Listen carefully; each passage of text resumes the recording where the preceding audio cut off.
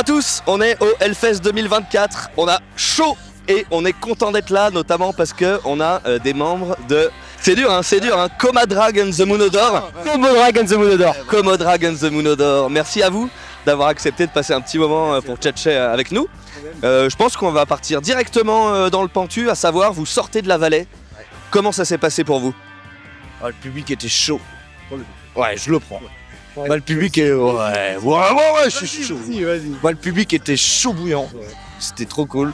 On s'attendait pas à autant de monde pour une ouverture de festival quand même. Et euh, ouais, bah, on on faisait rien et le public était là, donc euh, bah, ça c'est cool. À nous, ça nous a fait trop marrer parce qu'en fait, euh, la deuxième chanson du set, ça s'appelle Born in the Valley. Et donc, du coup, on était là en mode Born in the Valley Et les gens de la vallée, ils étaient là. Ils étaient à fond, tu vois. Et donc, on s'est dit, bah, allez, ça c'est bon, on y va à fond. Pendant, on avait que 40 minutes de jeu, mais on les a fait vraiment comme si c'était les dernières de notre vie, quoi. On a réussi à déclencher les premiers torticolis du week-end. C'est quand même long. hein. Ça qui est bon. Ouais. Et il y en aura plein d'autres. Et d'ailleurs, je me demandais, ouvrir un festival, c'est euh, différent de juste jouer euh, en plein milieu Ou euh, il y a un stress différent qui vient de, de faire le premier concert de la vallée, par exemple, ou pas spécialement? Bah un petit peu euh, quand même, mais euh, moi surtout je m'attendais pas vraiment à autant de monde quoi. C'est euh, une ouverture de festo, j'étais là, bon bah ça va être cool, on va passer un moment avec les potes. euh. Et là quand on est arrivé sur scène on a fait Ah ok, là ça déconne pas. Et ouais.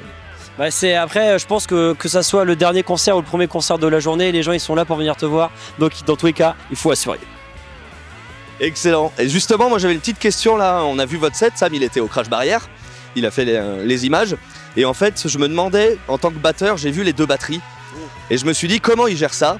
Peut-être, est-ce qu'ils sont au clic ou est-ce qu'ils sont pas au clic? Donc, de ce que j'ai vu, tu, euh, tu me corriges si, euh, si j'ai tout faux, mais a priori, vous n'êtes pas au clic. Faux Faux Ouais, ouais. Et vous vous écoutez, en fait. Ouais.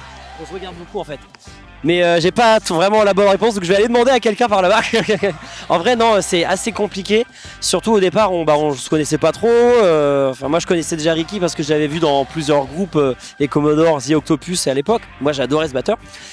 Voilà. Et donc, du coup, quand on a commencé à jouer ensemble, c'est vrai qu'il faut faut anticiper vraiment le groove de l'autre. Parce que chaque batteur a un peu son groove, sa façon de jouer, jouer dans le fond du temps, devant le temps. Et donc du coup ça, pr- ça prend du temps, ça prend du temps, mais c'est de l'entraînement, c'est beaucoup de concerts, c'est beaucoup de répétitions. Et au final, je pense que, enfin nous notre solution, c'est, euh, j'ai pas donné en fait l'ingrédient, de- l'ingrédient secret, donc je vous dirai pas. Mais sauf que non non c'est, euh, c'est quand même assez puissant parce que soit on fait vraiment exactement la même chose au même moment, c'est-à-dire les mêmes roulements, les mêmes, euh, les mêmes rythmes. Parfois on fait deux parties différentes, c'est-à-dire qu'il y a quelqu'un qui va plus prendre une, une partie percussion euh, et l'autre le truc vraiment plus euh, rock classique, tu vois. Donc du coup ça fait, ça élargit vraiment la musique et ça fait vraiment un bel orchestre quoi, un beau bagade comme on dit par chez nous. quoi. Très bien. Parce que oui, justement, je pense que ça vaut le coup de préciser, peut-être pour ceux qui ne vous connaissent pas encore, c'est que Comodrag and the Moonodor, on est bon cette fois Du coup, c'est deux groupes, c'est ça C'est ça. C'est deux groupes. Vous pouvez revenir un peu sur euh, la création Je pense que c'est- une question un peu bateau, vous, vous avez dû le dire souvent, mais... euh, Non mais ça vaut toujours le coup de l'expliquer quand même parce que euh, on a un nom compliqué, faut le savoir l'expliquer. En fait si tu veux, d'un côté il y a Commodore et de l'autre côté il y a Moondrag. Voilà. On est plus ça. Alors Commodore on est on est 5 sur scène, c'est plus du, du rock and roll euh, 70s à la MC5 euh, dans les Alice Cooper euh, Slade et euh, Moonrise c'est plus dans les Emerson Michael Palmer, Atomic Rooster, euh, Deep Purple. On- et en fait on s'est rencontrés euh, dans un concert de Commodore, ils sont venus nous voir, on avait fait un concert de merde. on s'en souviendra. Ah ouais, c'était notre euh, troisième ou quatrième concert, je sais plus, mais bon, il était pourri. Mais nous, t'es pas bon non plus, mais on a jugé. Hein. Et en fait, ils nous ont contactés via les réseaux. euh, Enfin, c'est Matt euh, de chez nous qui a Ouais. contacté Camille euh, sur les réseaux. Et en fait, euh, on avait une date au Banana Boat euh, à Dornenay, euh, dans un club de nuit euh, bien bourri, comme on dit par chez nous.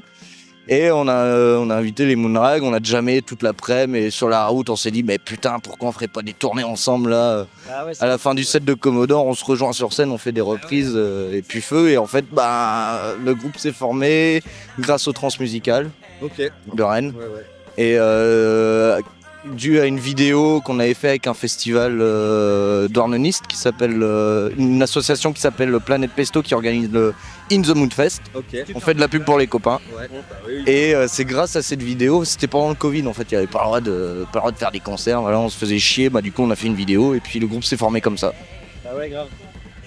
Et on s'est dit en fait euh, la force qu'on va avoir dans Commodore c'est que plutôt qu'on fasse euh, notre petit bonhomme de chemin Moonrag d'un côté et Commodore de l'autre côté euh, sur, le même territoire en Bretagne, bah autant s'unir. Comme ça vraiment on peut co- commencer à évoluer ensemble, on trouve ensemble les tourneurs, on, trouve, on monte ensemble les tournées et tout ça, on se partage les contacts et on a bien fait parce qu'aujourd'hui bah on est au fucking Hellfest yeah Bah ouais, il fallait. Et d'ailleurs, le Hellfest, euh, j'imagine que vous connaissiez d'avant. Vous l'aviez déjà fait en tant que festivalier? Alors moi je l'ai fait deux fois en festivalier, une fois en technicien. Ok. Voilà, je suis euh, technicien son aussi comme ça dans mes heures perdues. Et euh, du coup là c'est ma quatrième fois, pour Colin c'est ta première fois. Toute première fois ouais. Donc euh, bah ouais on est content d'être là. hein. Très bien. Et justement, bah, ça me fait penser, euh, là, nous, on va faire un petit reportage qu'on va axer sur un peu la technique au Hellfest. Moi, je suis Rodi aussi, intermittent road, tu vois, en structure, tout ça. Voilà. Ouais. Ouais, ouais. Et on s'est dit que justement, c'était. Bah ouais, taper de la ferraille, c'est ça qu'on aime, tu vois. Et on s'est dit justement que ça pouvait être intéressant de savoir un peu comment ça se passait euh, pour les techs, tu vois, les sondiers, les lighteux, euh, tous les gens qui font la régie, etc. Et en fait, on demande aux artistes, vous, en tant que là, pour le coup, en tant que musicien, euh, c'est quoi les aspects les plus importants euh, techniquement quand vous êtes, euh, quand vous arrivez sur un fest? Est-ce que c'est que le rider il soit respecté à la lettre? Est-ce que c'est les horaires? Est-ce que c'est le nombre de roads que t'as? Est-ce qu'il y a des trucs que vraiment faut pas foirer quand on vous invite? Enfin, tu vois. Alors pour nous, on va parler pour nous du coup, le rider il est jamais respecté parce que réglé. voilà c'est toujours toujours la merde. Le plus important, c'est vraiment d'avoir une équipe qui est au petit soin et vraiment, tu vas les voir, il y a une communication avec eux, tu vois. Et Il y a pas de distance. il y a pas de dis- il y a pas de distance et les gars, c'est ils sont comme toi. Ils sont Ouais. comme toi, on est tous sur la même scène. Si tu veux que le concert il se passe bien, il faut que tout le monde communique. euh, tu vois, c'est comme un couple en fait, c'est pareil. Hein. Technicien, musicien, c'est pareil. C'est pareil. Tous loger à la même enseigne, tu vois. Que ce soit avec nos techniciens ou avec les techniciens d'accueil, il faut être cool avec tout le monde, point barre. Mm. Parce qu'on est tous euh, au même moment sur la même galère et faut tout s'assurer. Ouais. Voilà, on n'a pas le choix. Et du coup, sur le Hellfest, justement, bon, les bières sont loin, mais techniquement, vous avez été bien accueillis? Ouais, euh, ouais, ouais, carrément, ouais, ouais. Bah, l'équipe était au top. Non mais attends, nous on arrive là, c'est que des copains euh, sur la scène parce que bah, du coup on est de du, Finistère, Côte d'Armor. Moi je suis sur, sur la région brestoise, du coup je connais tous les, toute l'équipe technique qui bosse sur la vallée qui s'appelle Audiolit, la société. Voilà, je fais de la pub quand même. Et, euh, et du coup, ouais, de voir tous les copains qui nous accueillent avec le gros smile, c'est- mortel. Du coup, ça, ça nous met dans un terrain un peu confiant quand même. Donc, euh, ouais, il y avait tout pour que ça se passe bien. Magnifique. Très bien. Eh ben, je pense qu'on est pas mal. Juste, dernière petite question, parce que ça m'a fait rire. Je regardais votre concert et il y avait une meuf euh, qui écoutait, qui kiffait devant. Et elle se retourne vers son pote et elle dit Putain, c'est le mélange parfait entre euh, Deep Purple et Supertramp. Qu'est-ce que- qu'est-ce qu'on en, qu'est-ce qu'on en pense? Moi je dirais. euh, Merci. Bah c'est trop cool parce que c'est deux groupes incroyables quoi. Mais c'est classe. Ouais, c'est super classe. Merci madame. Merci mademoiselle. J'espère qu'elle verra ça. Et peut-être, juste pour finir, est-ce que euh, vous avez vu sur la prog un groupe à pas rater Une petite pépite euh, Ou pas spécialement? Ah, il y en a toujours Il y en a, il y en a beaucoup. hein. Il y en a beaucoup, mais j'aime bien hein, demander aux icos, euh, tu vois, s'ils viennent en se disant euh, ça, ça je dois pas rater, tu vois. Pour moi, c'est Fu Manchu. Ouais. Ouais, Voilà, Fu Manchu, ouais. Fu Manchu. On Mais on sera pas là pour le voir. Ouais, il y a Fu Manchu, euh, dans le délire un peu plus 70s. Au départ, il y avait les Rival Sons, pareil, Yes. sur la vallée. Il y a Les les, Spills. bah, les Blues Spills. Blues Il y a les Queen of the Stone Age. Tout ça, pour nous, c'est les groupes à pas louper, quoi. C'est les La Viarde. la Viarde. En fait, c'est ceux qui sont un peu dans l'univers 70s, quoi. Ou stoner à fond, bien désert, là. Skater. les rockers, quoi. Au top, bah merci beaucoup les gars. Et puis bah, bonne continuation à vous. Commodore Guns, The Moonodore. C'est bon, je l'ai dit deux fois bien dans l'interview. Merci beaucoup les mecs.